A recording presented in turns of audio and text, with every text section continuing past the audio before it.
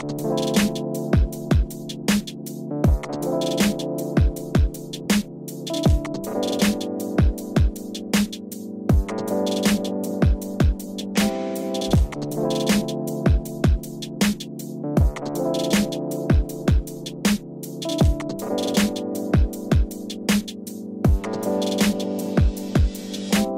Nos cinco dias de evento, a feira recebeu visitas de comitivas internacionais e autoridades, tecnologias, máquinas e equipamentos, sementes e insumos, irrigação, agricultura familiar, pecuária e soluções para diversas culturas.